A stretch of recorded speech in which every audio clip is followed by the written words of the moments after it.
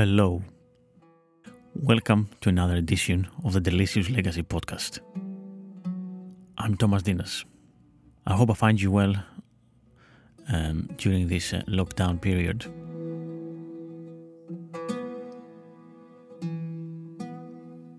Today's episode is all about the food of Roman Britain.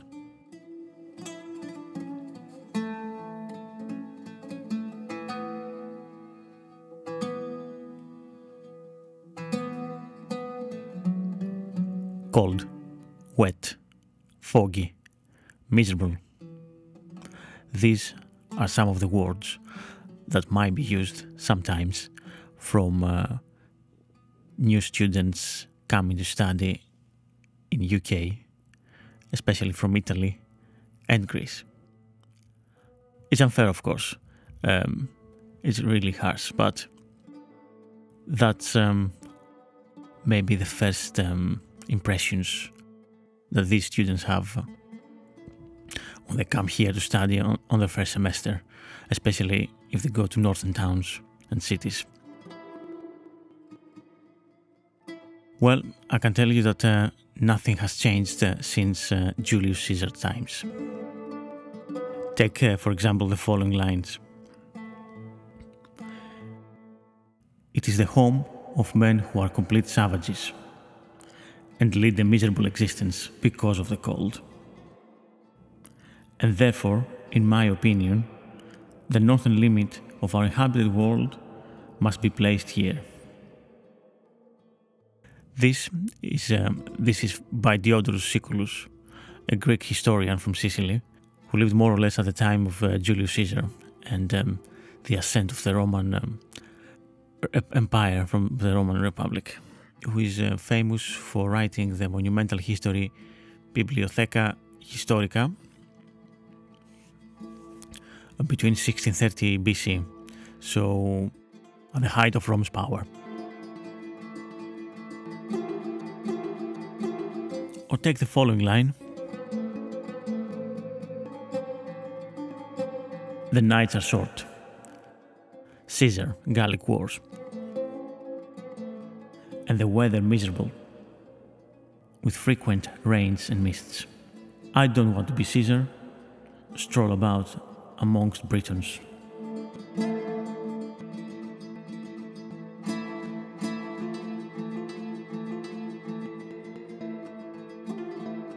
Florus rides to Hadrian and endure the Scythian winters. It is a savage place as they are fierce, inhospitable Britons who live there. Those near the coast in Kent might be a little bit more civilized, but in the interior, they do not cultivate the land, but share their wives with the family members, live on milk and meat, and wear the skins of animals. These behaviors all seemed uh, all too foreign to Romans. Well, you might wonder what all this has to do with um, with Roman British food, but let's carry on. Um, you'll see.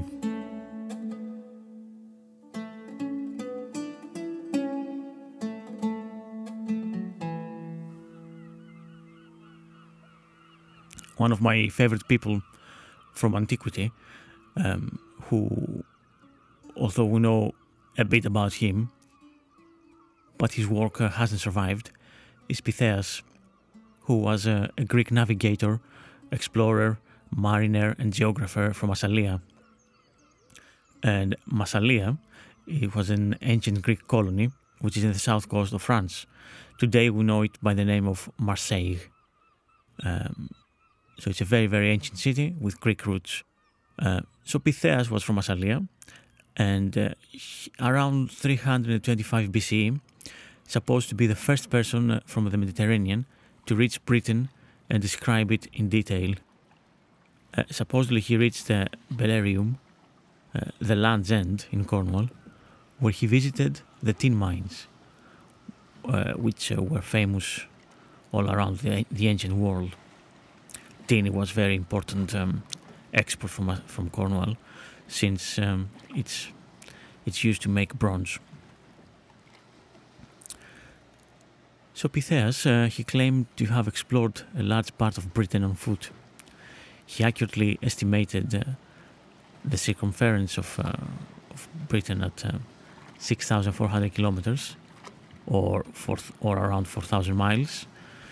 Uh, he also estimated the distance from the north of Britain to Massalia at 1,050 miles, which is around 1,690 kilometers. Uh, the actual distance is 1,120 miles. So you see, he must have been around. He must have come around and um, uh, visited on foot as well as circumnavigated the whole of uh, uh, the main um, island of Britain. It is said that he also visited some northern European countries and he may have reached the mouth of Vistula River on the Baltic Sea.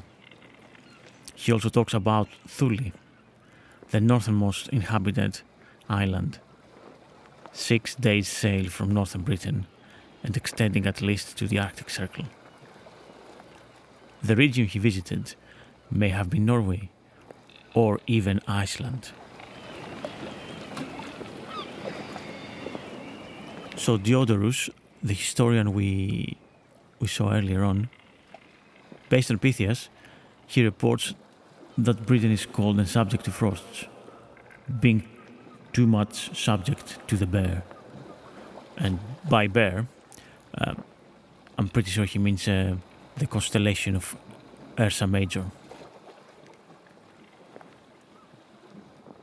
A numerous population of natives, he says, live in thatched cottages, store the grain in subterranean caches, and bake bread from it.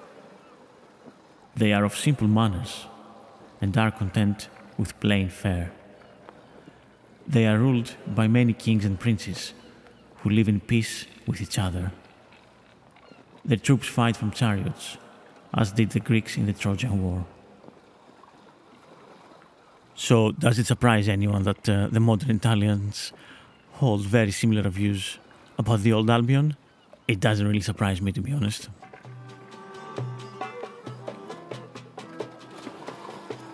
But uh, enough uh, with the name calling, the slander, and the propaganda. Let's get into delicious legacy territory now, yeah? Some gastronomic history. Okay?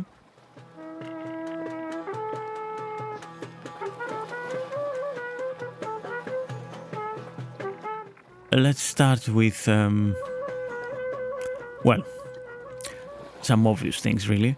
Rome's world empire stretched uh, from the banks of the Euphrates River down in modern day Iraq, all the way to the western shores of Lusitania, which is uh, modern day Portugal for you and me, and from the Libyan desert to the marshy banks of the lower Rhine. A vast landscape with many different people, cultures, and of course, climate and food. So it doesn't need saying Rome needed a vast army to control all these far distant and almost alien lands, alien to the local Italian soldiers.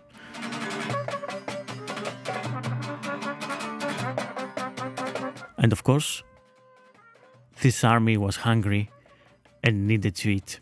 Standard army rations and standard officers' luxuries traveled hundreds of miles by cart and by river barge to reach distant units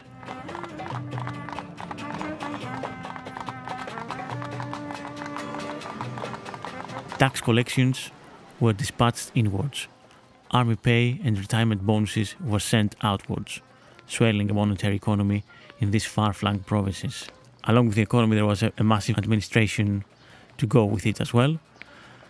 And of course, all these people needed um, to be fed. Roman armies tried to invade Britain twice, but the first one of Julius Caesar was not meant to be. Claudius, the fourth emperor, succeeded where Caesar had failed. The emperor himself only spent a fortnight in the cold, wet province, but the invasion he ordered had resulted within 60 years in the conquest of, the, of all of the South Britain, as far as Solway Firth in one side, between Cumbria and Dumfries, and the River Tyne in the other side. Three or sometimes four legions were stationed in Britain. That would be around 20,000 men at its peak, and it was roughly about a tenth of the whole Roman army's strength.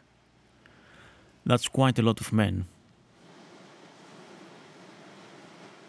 Britain was a wild and dangerous place when the first legions landed in Kent. So far from home, Romans in Britain demanded wine to drink, lentils to eat, walnuts, figs, and olives to chew.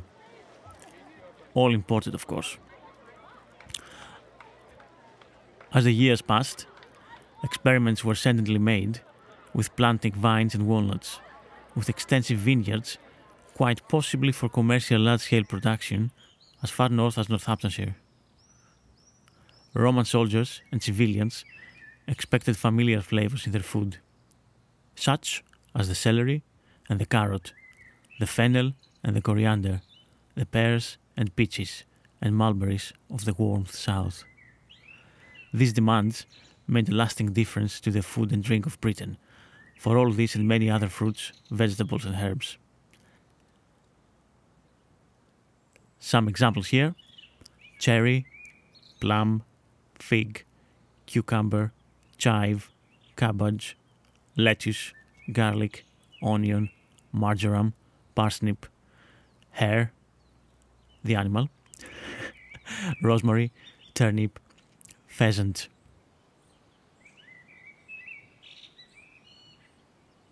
All these were introduced to the island in Roman times, and in most cases have grown here ever since.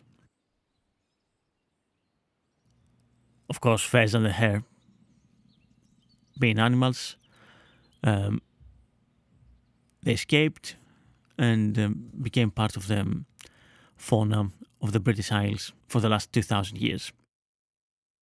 So you see people, um, the Romans, just, just as the Italians today, they need the comfort of their home food, which is fine, of course. Everybody does that. But um, yeah, it just strikes me as um, as something that, that, that hasn't changed a bit for 2,000 years now. Anyway, so until the Roman invasion, um, so what did the local lads eat? What was um, the food? What was the food of Britain pre-Roman invasion? Well, until until the, the Roman invasion, the most common dish uh, would have been some sort of uh, pottage, a thick vegetable stew, or some kind of a soup, flavored perhaps with bog myrtle, which is a bush type of um, plant, uh, with which is quite aromatic, a little bit bitter, um, and has some sweet notes as well. And um, the food would be served in bowls made of unleavened bread, with the occasional salted pork, bacon, or seafood, and of course, um, lots and lots of wild game.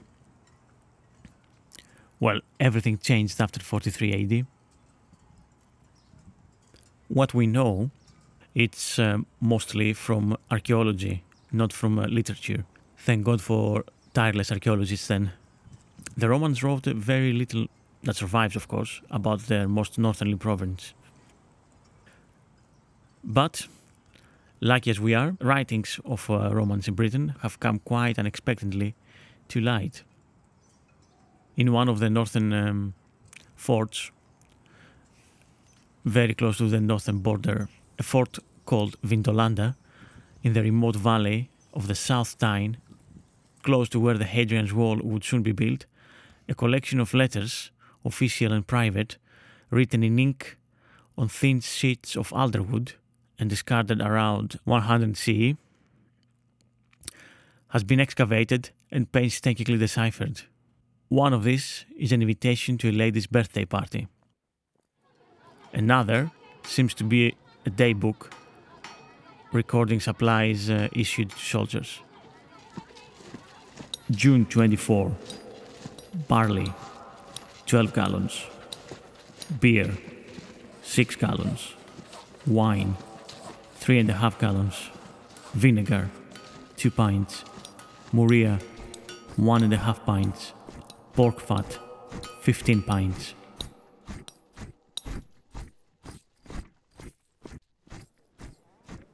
What is a little bit surprising on this list, at least uh, when you reread it, is the fact that there is more beer than wine. Earlier on, uh, we said that um, Romans demanded wine to drink things from home and so on. But clearly, the influence was not all one way. Somebody at Vindolanda required twice as much beer as traditional wine. Of course, along with um, everything else, the Romans uh, brought urbanism into Britain. Theatres made of marble in the cities, luxurious villas around the countryside with mosaics and baths and underfloor heating. All technological marvels and luxuries that surely must have enticed the elite of the local Britons to join the ranks of the Roman conquerors and adopt similar customs and eating habits too. The kitchen of a Roman British country villa, or its uh, town counterpart, would have included many of the above mentioned foreign foods imported from all over the Roman Empire. You would have amphorae, which would have held uh, imported wine and olive oil.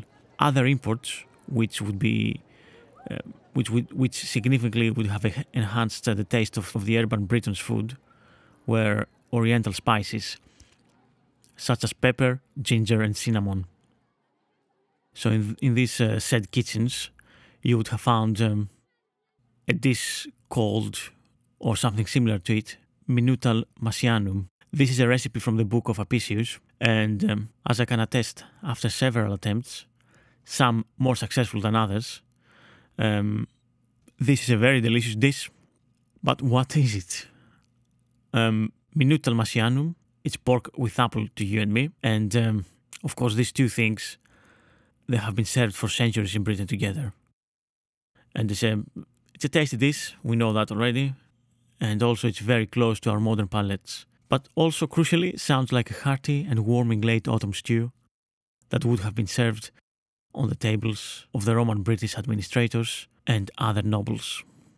The herbs and spices were all available in Britain at the time, whether grown here or imported. Even fish sauce, garum, the sauce we dedicated a whole episode for, remember a few months back? That was made in Britain too. An archaeological site near London is unmistakably a Roman garum factory. In any case, the name for this dish must be from uh, Gaius Matius, a friend of the Emperor Augustus.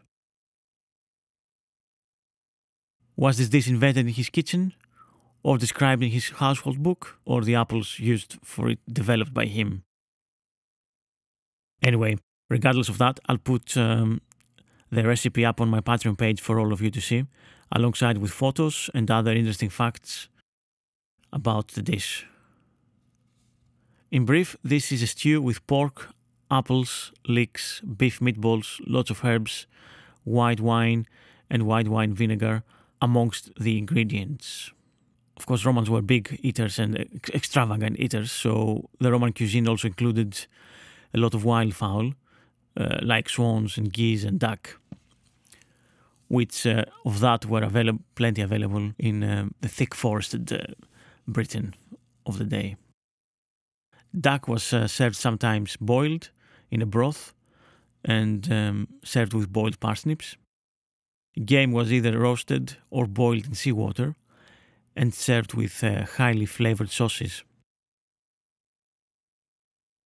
Apicius recommended making a sweet, fruity sauce with reduced wine and dates, dried damsons, or prunes. As we mentioned earlier, uh, Romans brought urbanization to Britain. Alongside with it, uh, another Roman urban tradition which was brought was uh, thermopolia, as they called them.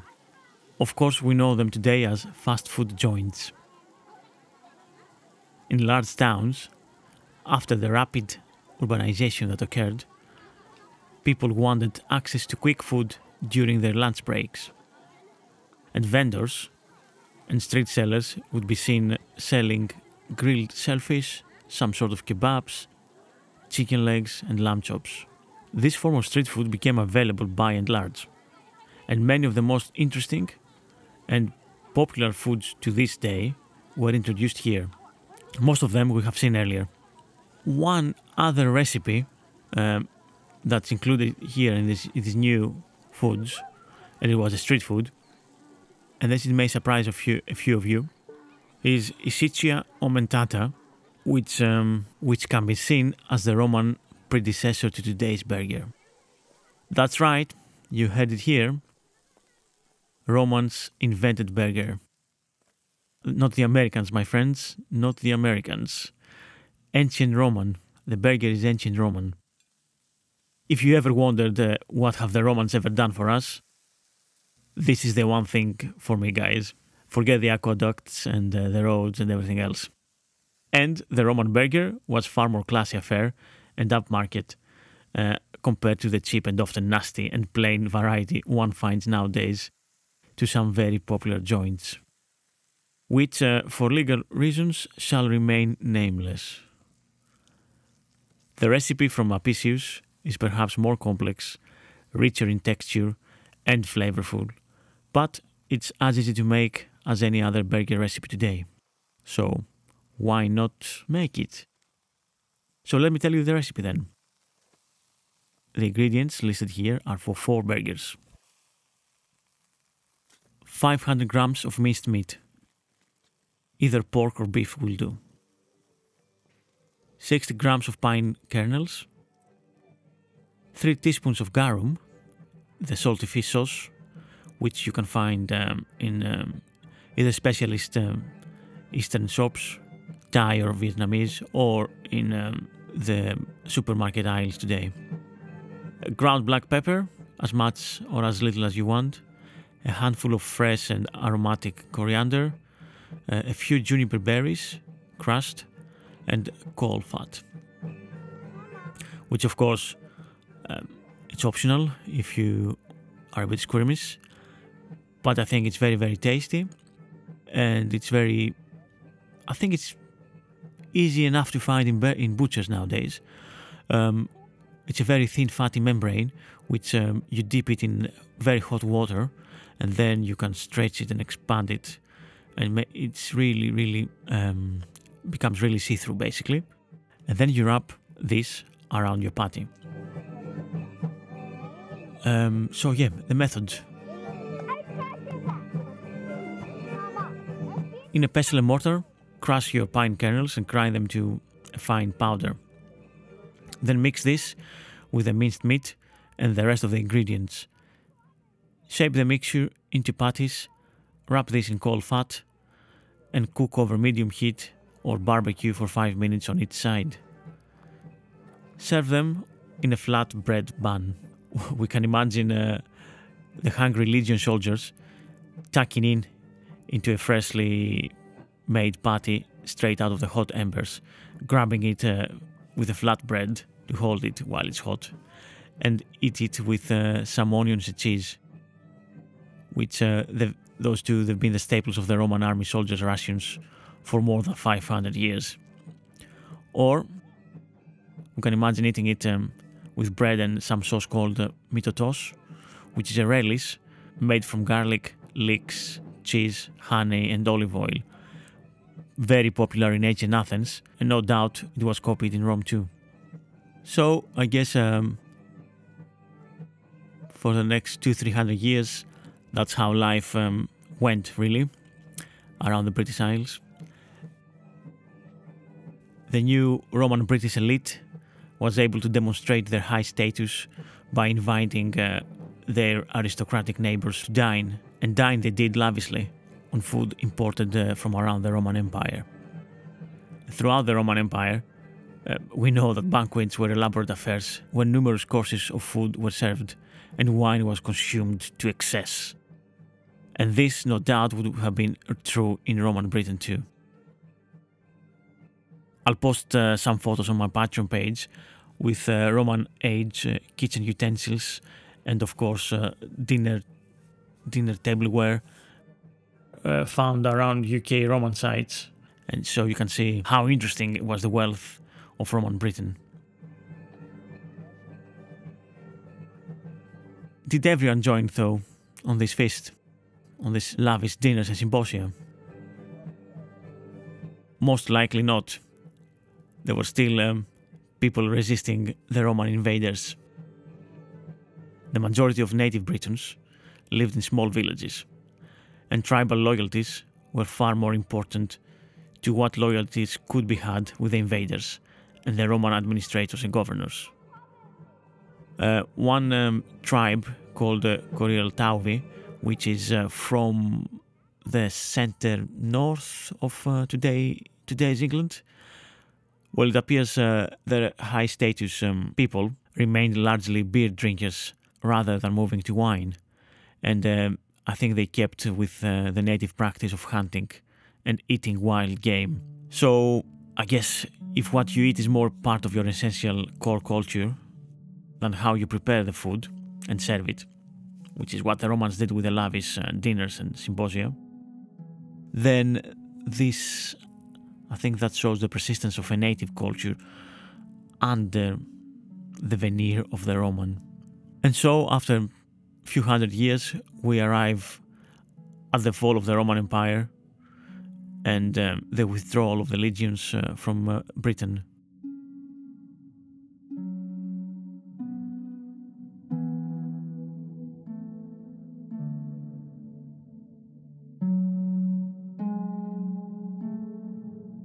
All of this, of course, was by no means sudden. It happened slowly and over over a few hundred years. And then the Britons entered a different, more austere phase. Unable to maintain the big urban city centers and the Roman trade routes. People forgot Latin. Hadrian's Wall was abandoned. Weapons dropped on the ground and left behind. London suburbs were tilled for farming. The native people adopted the cultures of other invading tribes or reverted to a simpler pre Roman existence, living in thatched longhouses. Some of the ancient hill forts bursted back to life. Sadly, we don't have much written records on what the Saxon warlords and the subjects ate on these post Roman times, but we can assume they had bread, honey, ale, animals like cows and sheep for cheese, butter, and meat. For some reason, unfortunately, it seems that it wasn't high in their list of priorities back in the day to write down the recipes um, or tell us what type of beer and cheese and bread they were making. So, unfortunately, we don't have uh, much information from that period. And so it ends the foods of the Roman Britain. Thanks for listening. I've been Thomas Ntinas, and this was the Delicious Legacy podcast. I hope you enjoyed it, and if you want um, to write to me with comments, thoughts, suggestions, and anything else, please feel free to contact me on Twitter. The handle is Delicious Legacy, and um, you can find me on Patreon as the Delicious Legacy podcast. Please subscribe and uh, help me make uh, this podcast even better. Thank you. Stay safe.